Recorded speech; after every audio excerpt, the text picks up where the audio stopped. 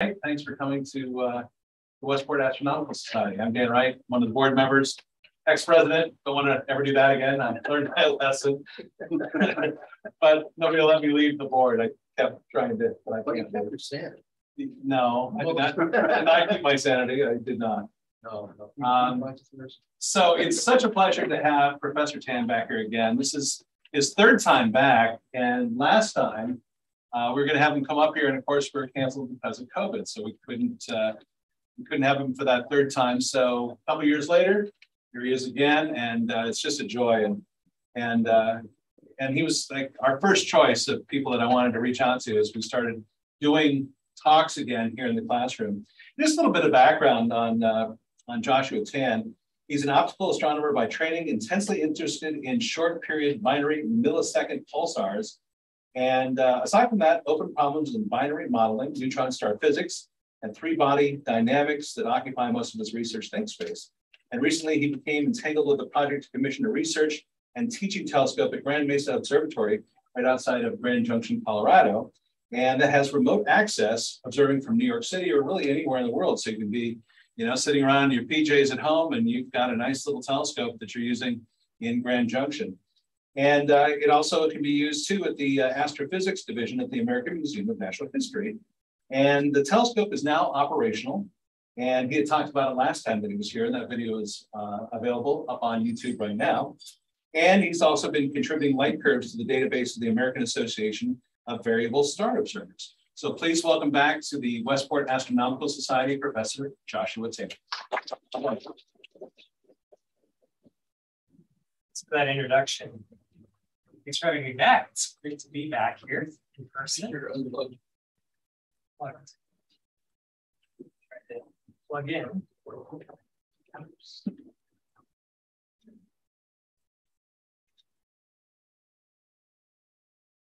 Big bucks and rings. All right, new speech, dark matter. Oh, here we go. Yes. Hold your breath. Make sure. That's plain. Um, so this is my third time, and I try to do a different talk each time. Of course, you want to hear the same thing over and over again. So um, this was a talk that I first gave maybe three years ago um, because the physics club at LaGuardia Community College got very interested in a press release um, story that came out more or less saying something along these lines. And people were curious, skeptical, wondering what this all meant. And so I gave a presentation to try to explain it. Some of the work that I've done in the past is a little related to this. Um, but uh, over the years, I've come to follow the story very carefully. Um, keeps going away.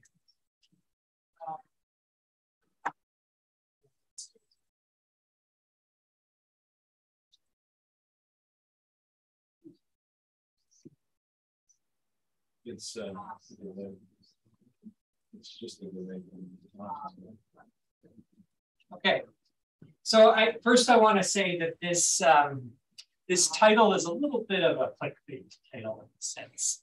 Um, I'm going to claim that it's perfectly fine for us to say that our galaxy once was a quasar, but it is definitely the case that you could argue against that um, and say that that actually is the situation. And it's dependent on what you mean when you say quasar.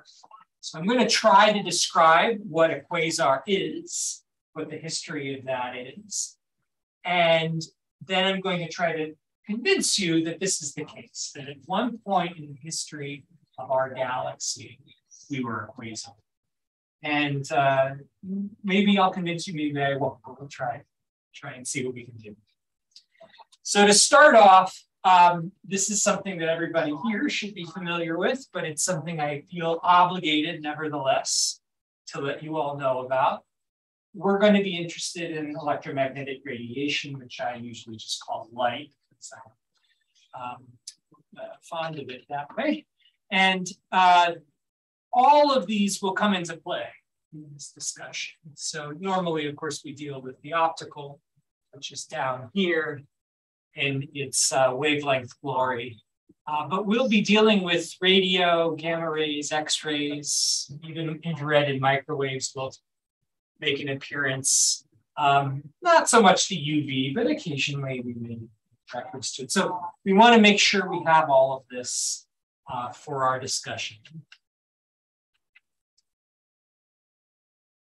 And what we need to do to understand what a quasar is, is understand this instrument. So does anyone recognize this instrument?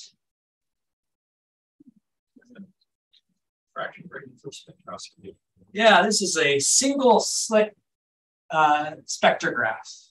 So the idea is that you have your um, slit that you align on your object that you want to take a spectrum of.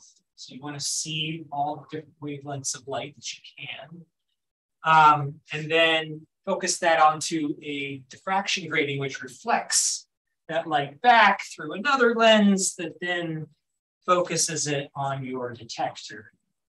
So rather than get a beautiful picture like we saw earlier, just get a nice line straight across, um, which you then have to be very careful about measuring. One end of the line will be the red and the other end will be the blue. And depending on exactly the parameters that you set up, you might see a wide or a narrow range of wavelengths. Uh, spectrographs can be uh, sensitive all the way into the infrared. Are infrared wavelengths that we can't see with our eyes that are um, uh, getting through our atmosphere and can be seen with the right instruments. Um, and so this is the game for a lot of people. When the spectrograph was first invented, uh, people were pretty excited to see that stars had a very peculiar spectrum, um, many of which matched the sun, which was sort of the first star to be uh, imaged by a spectrograph, but some of them do not. So here I have some images of spectra that you may have seen in the past. And so at the top left, I'm showing the zoo of possible stars. So you take your spectra, spectrograph and you take a spectrum of a star. This is what you expect to see. And so the main features that I typically point out are that you can see that there are some stars which obviously have more blue light than red light. And that's what you call the color of the star when we just look at it in an image. And you can see that the ones at the top have more blue light than red light. So if you were to look at them, they would look a little bit bluer. Ones towards the bottom, the M stars, they are very red. But the other key feature that is visible in here are the, of course, the spectral lines. These are the absorption features that were a big mystery when they were first discovered by Fraunhofer and then since then have been associated with individual atoms and gases and explained only after quantum mechanics was fully developed. So it took that long to really do these sorts of calculations that could at least begin the process of explaining why we have these lines. And it's uh, unfortunate that that calculation is sort of hard for everything but hydrogen. So hydrogen turns out to be one of the main lines we see in here. Everything else, uh, you basically have to compare to um, lamps. You have to have a lamp with the gas in it and then see what you see in order to make the comparison to what you expect the um, the line to show up as at a certain wavelength what you actually see. So this is a nice view. I like the kind of photographic view. This is the old-fashioned view of spectrum. This is a nice one to see. But of course, when you go to a telescope um, that has a, a CCD readout, these days you typically get a plot like you see in the bottom. And this is the same data, essentially, just seen in different ways. And you can imagine that you might want to go out and uh, look at different stars, hopefully see the spectrum coming from these different stars, maybe identify them. And that's where our story of quasars first starts.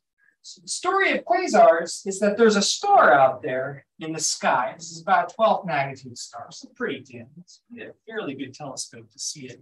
You especially need a good telescope you're going to take a spectrum. So take a spectrum of any object.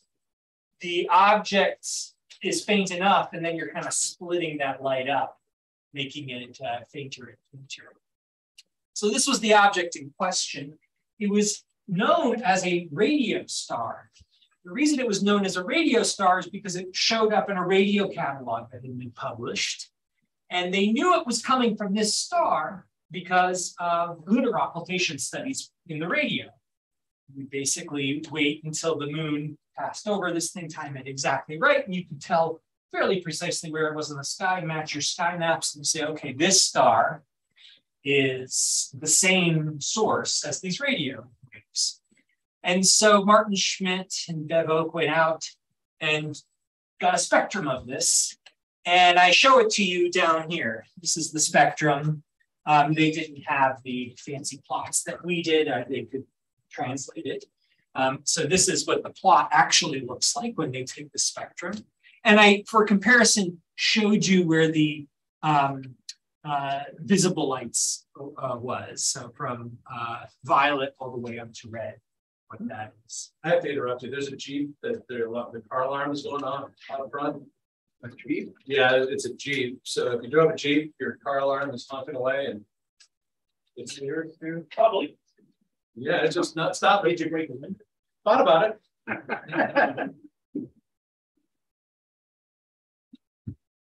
Thanks, Steve.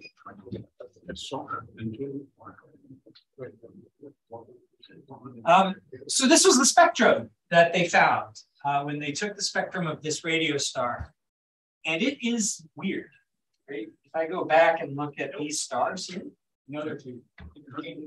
Somebody drive a Jeep? We'll it. It's stop. So if I compare these spectra to what I see over here, you can see that basically none of them seem to match. And what is worse is that although this sort of spectrum is sometimes seen in certain stars, uh, these things are typically called cataclysmic variables. Um, these big lines, which are sort of the inverse of the absorption lines we saw over here, the dark features have become bright features, um, should line up with known atoms. And they simply didn't. So in 1963, when this data was first published, the conclusion that Maarten Schmidt came to was that these were actually well-known atoms. They had just been shifted quite a bit over. And that what you were expecting, and it's a little hard to see, but you were expecting to see hydrogen down here. And what you instead saw was that it had shifted over to the red, but not by a little bit, by a lot. You took the fractional percentage of the spectrum and what you actually ended up seeing was like shift over, shifted over by more than 10%, uh, which was absolutely enormous. And this caused quite a lot of controversy when it was first published. But This might not be what's actually going on how could this 12th magnitude object experience this? So what's the theory? Why do you get that sort of shift? Well, this is the classic redshift that we talk about and know about and love, but let me just explain to you how bizarre this redshift is. So the whole idea of redshift is that you're looking at something that's moving away from you. And the faster you're moving away, the more the shift occurs. And you can figure out approximately the speed that you're moving away by taking that fractional redshift and multiplying by the speed of light. So if this thing was at about one sixth the fraction of the entire spectra, that means this object was traveling at one sixth the speed of light away from us, which is ridiculously fast, right? It's something along the lines of 30,000 kilometers a second, or something like that. Very fast thing, just zipping away.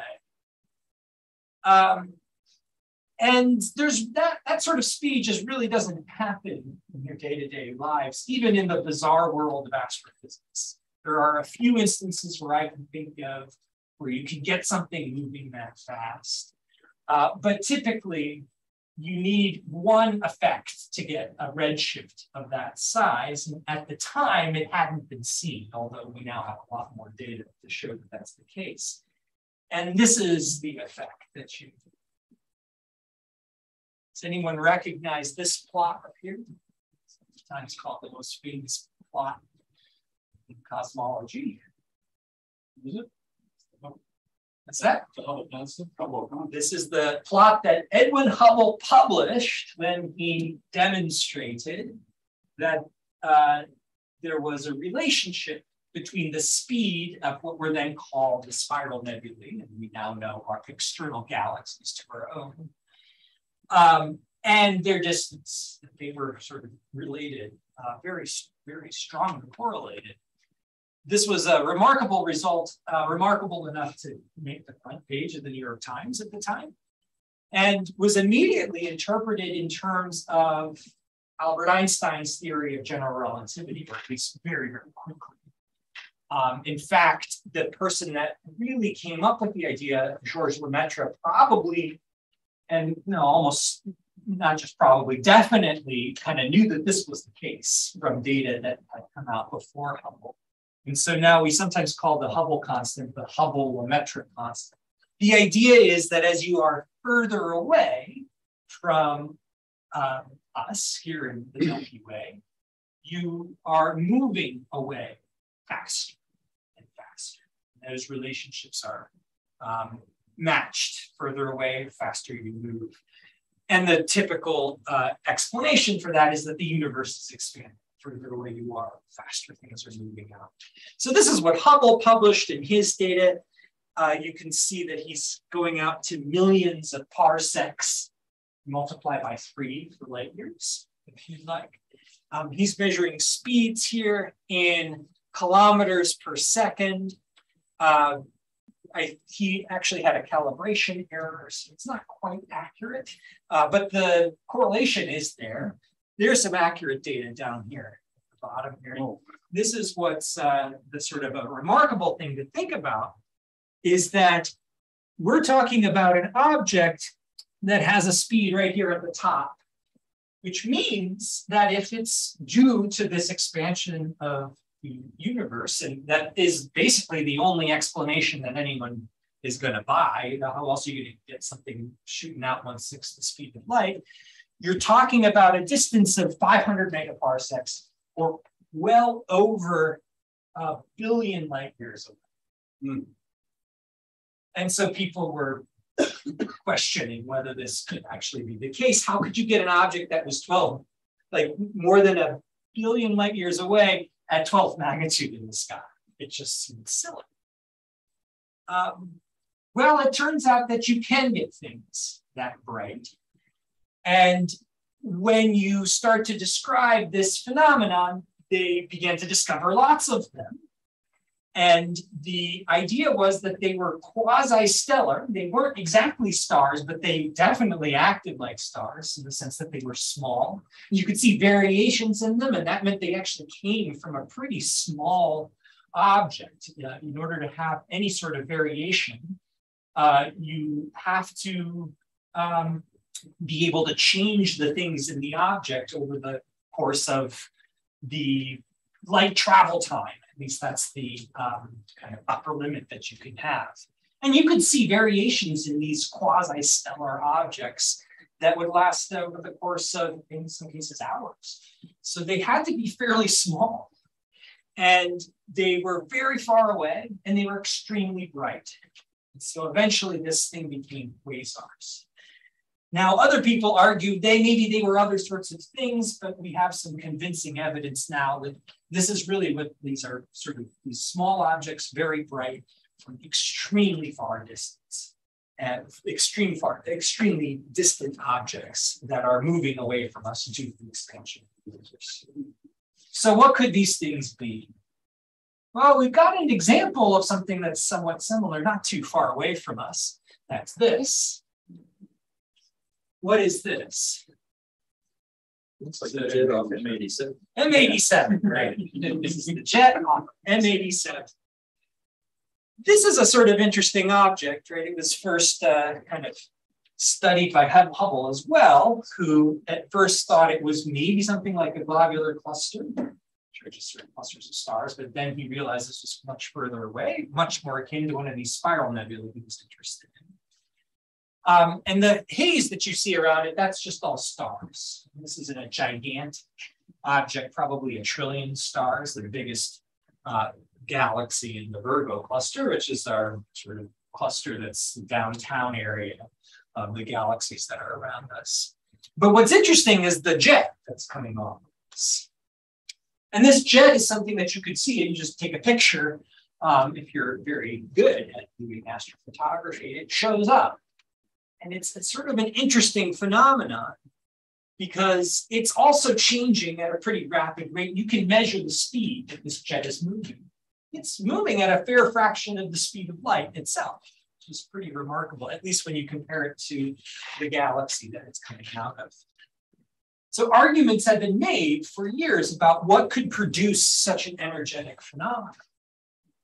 And we know now that most jets that we see of this sort are formed by material that is spiraling in, collapsing in under some gravitational interactions, in particular accretion, which is this uh, process by which material spirals into different objects, tends to produce these sorts of energetic jets. And so the idea is that there's something that's accreting at the very center. It's extremely close to the exact center of this galaxy. Something that is accreting material and then spewing out one of these jets. Um, the details continue to be worked out, but that's the general thought of what's happening here. And it's a tremendous amount of energy. Now, this jet is not pointed towards us, but you can do some calculations about what would happen if the jet was pointed towards us. if it was pointed towards us, it would be one of the brightest things we would see in the sky. It would definitely be up there with uh, the brightest stars. But it's not, it's pointed away from us. And so that's a very intriguing observation. We know that the object that's doing the accretion at the center has to be extremely massive and extremely compact. And when you do the calculation, you end up figuring out that this has to be a supermassive black hole. And for a long time, this was just sort of a pretty strong speculation, people would say. It seems a little bit outrageous, but there, there you go. Um, but just recently, that black hole was imaged, in fact. Um, and I'm not going to show you an image of that one. You can go look it up yourself. I'm going to show you an image of a different one that's more interesting to our particular story here. But this was the beginning of the idea, is that maybe you could produce this amount of energy that was required to see this bright thing that's very, very far away through material accreting onto a black hole and producing these energetic jets and other energetic things that would happen as the stuff spirals. In. Here's another example of this happening. See? This object that you know, Centaurus. Yeah, Centaurus A, named for its radio signature. So the A is indicating that it's the brightest radio source in the constellation Centaurus. And the radio um, is actually seen here in kind of the orange. There's the you know, superimposition of what the radio. So these, these big lobes that are coming out of this otherwise peculiar and interesting galaxy, Centaurus. And it's the same story as we saw with M87. The material is coming out from this supermassive black hole at the center that's doing the accreting. And you can do the same game where you calculate how much energy is being produced by that. It's again, we're seeing it off. We're not seeing it directly on. Um, but intriguingly, this is the same sort of radio signal that we saw with um, the first quasar that was discovered. It's 3C273. one I showed you in the beginning. So the connection began to be made that maybe these radio uh, galaxies are connected to these very bright jets. And in general, when you see very bright centers of galaxies, there's this name that they give them, active galactic nuclei, AGN. And this was the story for a long time, and this continues to be our best understanding of what's going on with these artists. And some people still were skeptical. He said, well, I think quasars might just be these weird things that just have strange ridges for some reason and are just little stars. Um, but this was kind of put to rest by observations from the Hubble Space Telescope in particular, which could use something called a coronagraph to cover up the bright quasar. This is the same quasar I showed you in the beginning. And when they cover up the bright uh, quasar source at the center, what you end up seeing surrounding it is other stuff. What is that other stuff? That's the galaxy.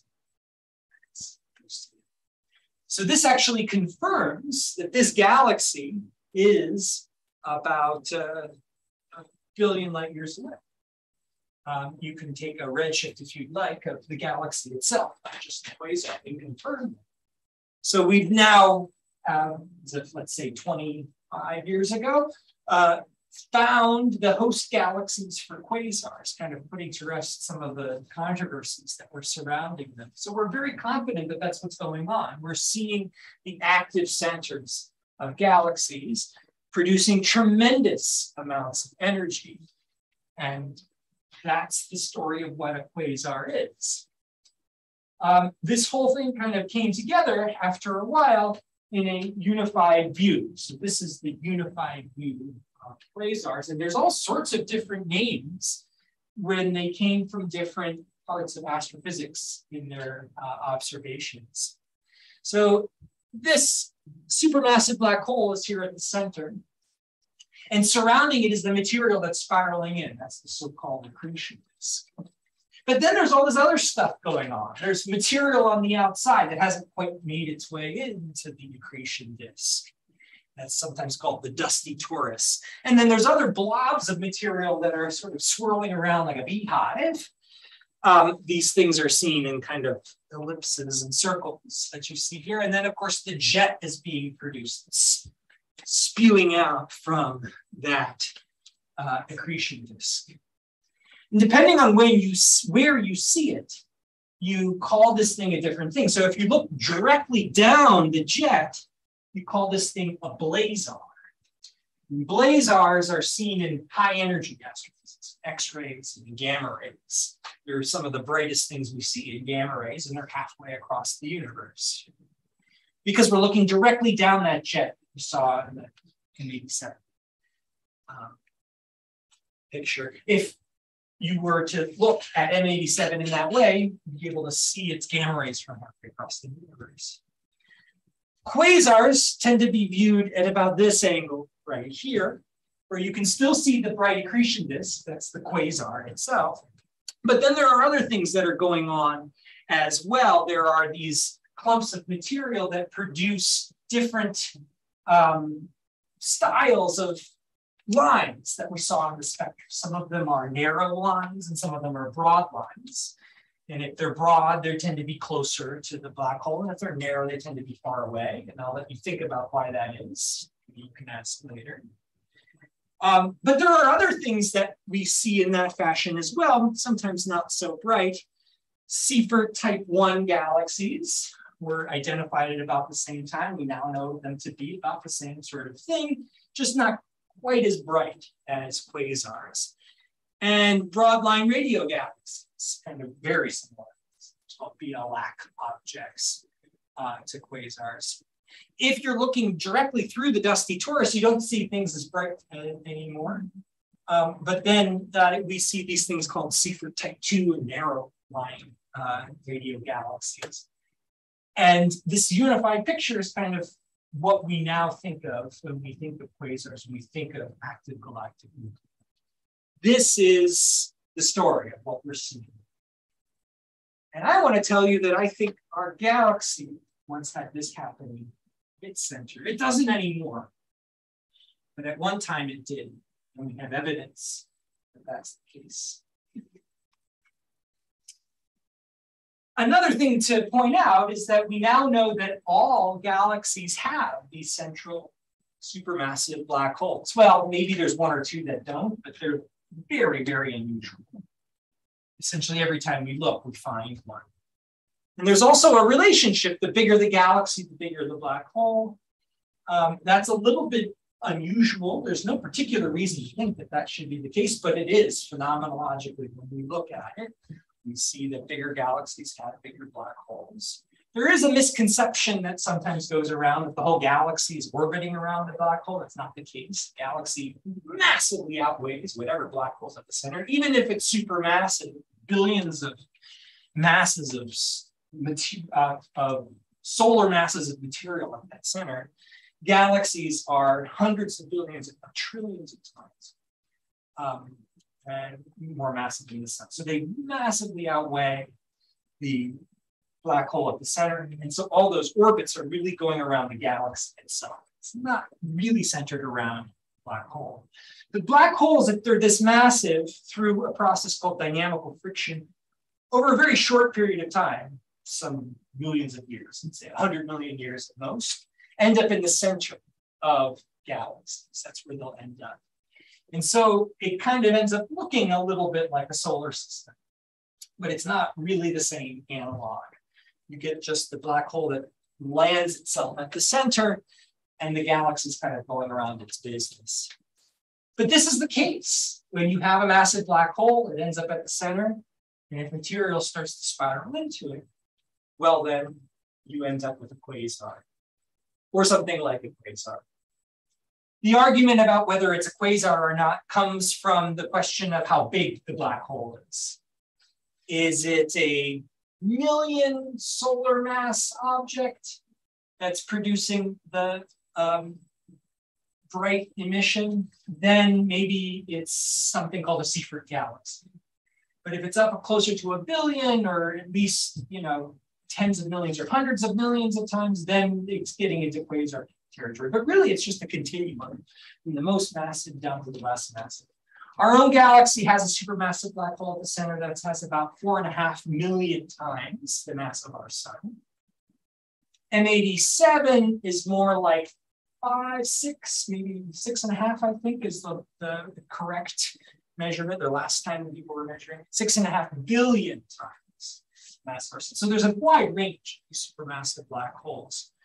And I think that's where some of the arguments come into whether uh, what we call a quasar. But I'm going to say that they're very similar processes all the way down, and that they just as a matter of scale, some things are bright, some things are not. So this is the sort of picture that you should have in your head now what a quasar is. Material coming in, spiraling into this accretion disk at the center, into a supermassive black hole. Right? And then that supermassive black hole accretion causes a jet to come out. I think this is the same image that was used in Hermitage. The jet spews out. And then if I look directly on it, I see a quasar. If I look more at this angle, it's a quasar. Here's another fun little artist's hmm. impression of what this spectrum looks like. Of course, we never see things like this, but the modeling seems to indicate that that's what's going on. Maybe this is the dusty torus surrounding. And we now know that there's millions of these quasars. Every red dot that you see here is a quasar. And they go out pretty far. This is in look back time. As you get farther away, the measurement of time and how far away things are in terms of light years and time gets kind of skewed a little bit because of the expansion of the universe. So we often think in terms of look back time since the universe has a finite age. Um, so depending on how you want to calculate this, right, this is like halfway across the universe. Uh, and you can see how many of those quasars there are. There's enough of these quasars that you can actually calculate whether there should be one near us at some point in our history. This was first done in the 1980s. And it turns out that absolutely there should be one within, let's say, uh, a few maybe maybe one million light years, there should be a dead quasar. And there is, so I say. It's the one that's at the center of our galaxy. So this is our galaxy. Um, I'm going to try to look for this, this thing here, and I'm going to expect it to be right here at the center. So off we go, looking towards the center of our galaxy. And if I look towards the center, it's sort of right here. This is Sagittarius. There's a really bright spot here, and, and in this is a, actually a pretty dense cluster of stars. It's called the nuclear star cluster. These clusters of stars were formed out of a lot of material not too long ago, some few millions of years ago. And that's actually the first hint that we have that our galaxy once was a quasar, because where do those stars come from? They have to come from material. That material is very close to the supermassive black hole. It's not that far to jump that that material at that time, some of it may have gone all the way in and lit up the sky. This is another view of our galaxy. And you know, you know what wavelengths we're looking at here? UV? No, not UV. Yeah. This is uh, this is the radio wavelengths. A little hard to see, but this big loop here is the give the giveaway. Um, and as I zoom in, this is actually much easier to do with radio because I can use interferometry to do this. This is a very famous image. It's made a few years ago of the central regions. Um, this is that central cluster of stars, right? There's all kinds of other weird things going on, big bubbles that are probably from old supernova, all sorts of strange things happening. These sort of lines coming off are the um, uh, emissions of uh, called synchrotron emissions, material that's spiraling around magnetic fields. Very chaotic, fascinating area to study the center of our galaxy. And this is uh, kind of honing in on that uh, view of the center of our galaxy in radio. The brightest object there, Sagittarius A, again, the A means brightest thing in the constellation um, in radio, uh, is this source that we now associate with the supermassive black hole center, Sagittarius A star. And we've proven more or less that there is a black hole there through this amazing Nobel Prize worthy study by Andrea Ghez. I'm going to play the movie. Here it goes. You can't see the center of our galaxy in the optical. It's obscured by clouds in the way. But in the infrared, you can. And so from Keck, which is Hawaii, this group was able to monitor over the course of, let me go back here and do it, the course of some decades, the movement of these stars around some sort of central unseen, and that's the central supermassive black hole, that's exactly coincident with the radio source. The idea being that there's some material that's coming in from the radio that's very, very bright here, and the stars are orbiting around the supermassive black hole. And you can calculate with the mass of this object has to be, and it's about 4 million times the mass of the sun. The only thing that we can fit in that small of a space, 4 million times the mass of the sun, is a black hole. So that sort of seals the deal. If that didn't convince you, then a few years ago, they went ahead and took a picture of the thing. so again, this is starting from that beautiful image that we saw from the radio using interferometry, which is using two different telescopes to get a better view. Actually, you get a longer baseline. You can see smaller things in extent um, to try to see as tiny as we can on the sky because black holes are tiny on the sky. And you start off at the center here. Those are the, the stars that are swirling through and you're coming in smaller and smaller and smaller until we get this famous image of the center.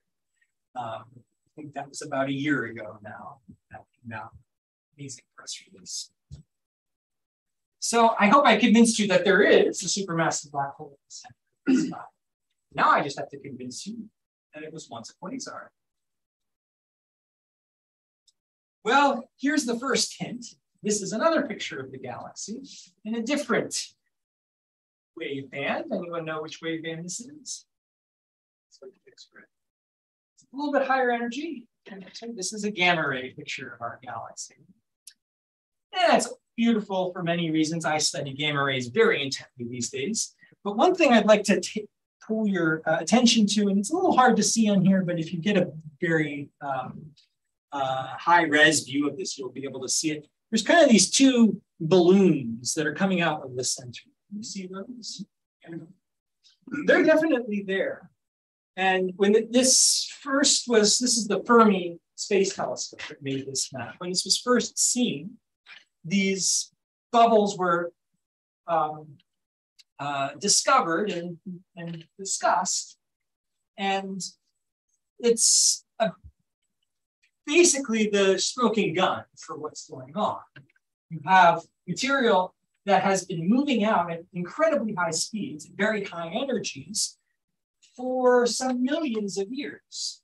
You can calculate the speed they're going. They're not going close to the speed of light, but they're going fast enough that when they travel, let's say 100,000 light years or so that they've been traveling, um, you can work out that they came from some sort of event that happened a few million years ago, somewhere between six, two and six million years, depending on exactly how the speeds have changed and what model you adopt. So these are famously called the Fermi bubbles. They were first discovered using gamma ray observations. And this is an artist's impression of what they look like ruled out. There's also um, some evidence that there's a jet that has come out and is now much fainter than it was in the past, but still there. This is also seen in other wavelengths as well. This is a map of the central region of our galaxy using the WMAP space uh, telescope, which was a microwave telescope that was meant to study the microwave background. Completely different subject, but there's other microwaves that come out. And if you look carefully, you can see the same shape showing up in the microwaves as you see in the gamma rays. And there's associated processes which would produce, produce microwaves alongside the gamma rays for this sort of energetic shock wave traveling through space. And not to be outdone, you know, just a few years ago, this is an X-ray view. Here we have, this is E Rosita, the um, latest and greatest X-ray telescope up there, and the same thing is seen. This bubble is actually bigger than the Fermi bubbles. So it probably was produced about the same time, but may have been a different event. People are talking about it, but it's still on the same scale, millions of years. People also have looked at the material inside of this and seen that it's at a very high temperature compared to other material in the galaxy indicating that it kind of exploded out from there at some two to six million years ago. Some event was happening that produced these giant bubbles, jets that look very similar to what we see in other quasar interactions. Now I have bad news for you. You think, okay, so if our galaxy was a quasar, could we see it? What would it have looked like two million years ago if you went out at night? You wouldn't have seen it. Well, if you had the right instrument, you could have, but with visible, no, no hope. You're losing 20 uh, magnitudes of uh, the light when you're looking towards the center of the galaxy. But what about someone in a different galaxy? If they were to look at us and see us, would they be able to tell where we are? How about Andromeda, for example? Well, I'm going to turn that question on its head. What if we took the amount of energy that have had to come out in those millions of years and turned it into an object that was as bright at the distance of Andromeda as it would be from someone from Andromeda looking at the Milky Way. So do people recognize this part of the sky? This is Andromeda. Everyone see it? Yep. It's right there right there. But what if Andromeda was experiencing exactly the amount of energy that I was describing? It would look like that.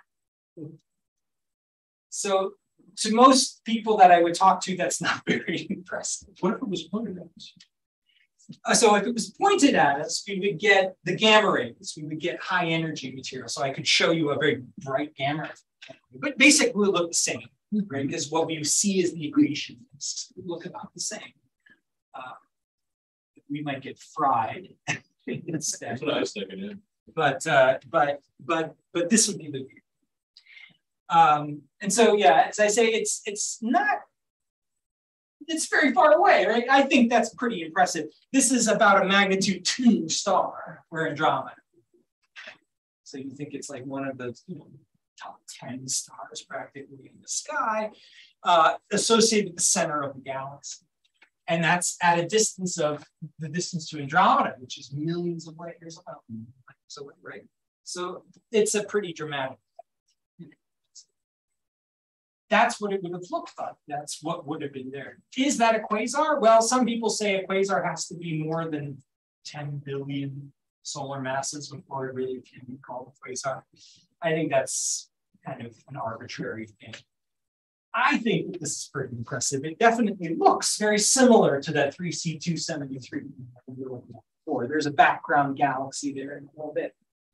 So I hope that's somewhat convincing to you. A little bit over time. This is the end of what I wanted to say, but um, that's uh, that's my claim that our galaxy once was a quasar a few million years ago, and there's the evidence.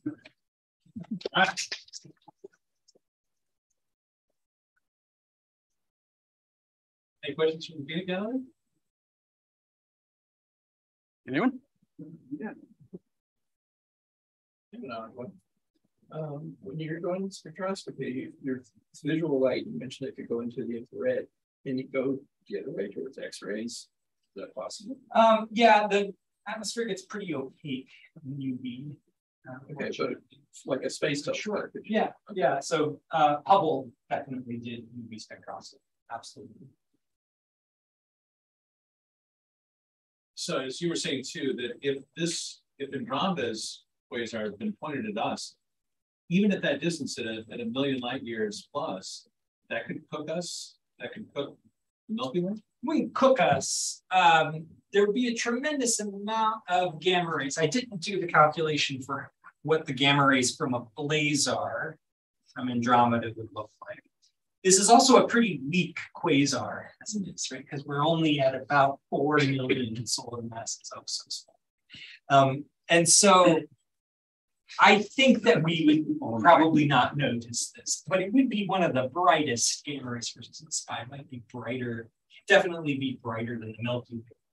So could Sagittarius A star start feeding again and really turn itself on and, and become a, a very bright quasar? Is that something? There's there's in order for this to happen, material just has to, to get in there. Right. That could happen. It's not going to happen in the time scale of our lifetimes, or you know, maybe not even timescales of millions of years, but there's plenty of material around there to come on in. And some evidence that that's where the nuclear star clusters, similar sort of event. And these things seem to happen on somewhat regular schedules. Does it, so it, so if stuff falls in, if you say this happens in regular schedules, so this could happen again in 100,000 million years or whatever stuff falls in, it turns on for a while, and then it shuts off. Yep. And just that's the argument. Yeah. Mm-hmm.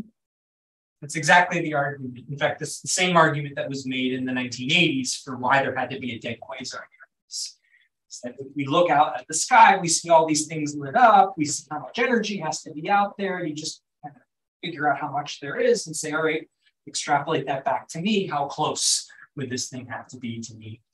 And it's within, it's closer than Andromeda. Would uh, an observer on somewhere in Andromeda looking back at us, would they think we were a Seyfert galaxy? Right. So this is what they would basically see, right? Yeah. Maybe they would argue that that was a Seyfert galaxy, but I tend to say no, because I think if we saw this, we would say that's pretty bizarre here's this galaxy out there that's pretty big, and it's got an extremely bright core. And it, because it's so close, we probably would have this whole other idea about how to describe these things. It would be the prototype of all these other things. And so I don't know. I mean, this is very counterfactual, right? But sure, Seyfert galaxy, quasar, whatever you'd like to call it, that's that's what they would identify as. Got a couple questions online. Uh, one of our members, Kesa. One is, uh, how large is the black hole in Sagittarius A star? It's about four million solar masses. Okay. They also asks, how far is the galaxy in the center of Einstein's cross? I don't know. uh, something you could look up pretty quickly, I'd say, but I don't know. That's just one quasar in Einstein's cross that just because of um, because of gravitational lensing, it's pulled it apart into four different. Great. There's a qua- there's a galaxy in front, and then Yeah. there's a quasar in the back. That's right. So you need to know both distances. Um, gravitational lensing allows you to get both of them pretty accurately, actually. Um, Uh, yeah, I just had a quick question. Is the uh, axis of rotation of the black hole more or less coincident with the axis of the galaxy? Excellent question. I oh the galaxy. not an excellent question. Uh, no, no, yeah. He would have lost it. No. Uh, I, I, so I, there is even controversy over whether the get the axis of rotation of the black hole is necessarily coincident with the accretion rates. Uh, whether it's coincident with the galaxy or not, um, I don't know. I, I, I tend to think that there is no uh, correlation, but this is not this is well outside my field of studies. I actually don't know. I'd have to look that up. But um, thing it might settle that way from momentum. Maybe over time. center of the galaxy is pretty sort of spherically symmetric. Now there is some rotation the center. It's very center, not a lot of rotation going on. Um, so the stuff that's coming in here is settling in perhaps random reasons, but I don't know. I'd have to actually see the data to find out. I don't. Um, so one of the things that we talked about at dinner tonight, and since we are talking about black holes, so why not the suit du jour of black holes today? And that is that there is seems to be um, an idea that black holes and dark energy have some maybe some sort of um, a close kinship. Could you talk on that at all? Yeah, so I don't know a lot about this particular idea in detail. All I can say is from reading the papers and having a few discussions a few days ago, uh, there was a press release from um, uh, astronomers out of University of Cambridge um, who were arguing that black holes and dark energy might be connected because black holes could be, for example, the source of dark energy or the reason that black holes are growing is because of some sort of connection to dark energy. And the argument there seems to be that black holes um, are always growing, which we know is the case. Uh, and supermassive black holes, like every other black hole, are growing over the course of the uh, age of the universe. And you can actually calculate what that growth looks like. And it has the same characteristic as the actual sort of growth of the volume of the universe. And the thing that is dominating in the universe's volume right now is dark energy. So there's this, this coincidence is the main argument for why those things are connected. In a theoretical sense, I don't think there is much more to it than that. There might be models that people can come up with to connect black holes and dark energy but um, but all of them are pretty exotic. They're not standard models by any means. That doesn't mean they're wrong. It's just not something that people have pursued, and there isn't any other evidence except for what I just said, as far as I know, that this is the case. Um, so I don't know. I talked to one scientist that said they gave it a 99% chance that this is never going to be heard about again. so you'll see. I, these sorts of ideas come out from time to time, and most of them turn out to not be right. Sometimes they turn out to be right. It'd be good to keep an open mind. Should we wrap it up? that? Got a clarification from case of uh, about uh, Sagittarius A. He was asking about the radius of Sagittarius A. Ah, the radius. Well, fortunately, the mass and radius are closely linked. Um, and so you can do this by saying that the sun's radius, if you take the sun and made it into a black hole, it's about three kilometers or so. And so then you can scale that up basically the same way. Um, so if it's three kilometers for the sun and it's four million suns, then it would be three times four, about 12 million kilometers, right thereabouts. That'd be about the size of the event horizon. That's just calculating um, in public, which is often embarrassingly wrong. So if I got that wrong, um, so About the size of what did you say? uh, about 12 million kilometers. You said it was the size of something. I thought I heard you say that. Um, so the a black hole, uh, a, a, a convenient scaling relation to remember is that a black hole about the size of the sun has a radius of about three kilometers. Yeah. And that's a one to one. That, so the bigger the black hole, the bigger the radius. They're one to one. So I should be able to just multiply. If I do that correct. All right. Okay, no more questions online. Thank you, Dr.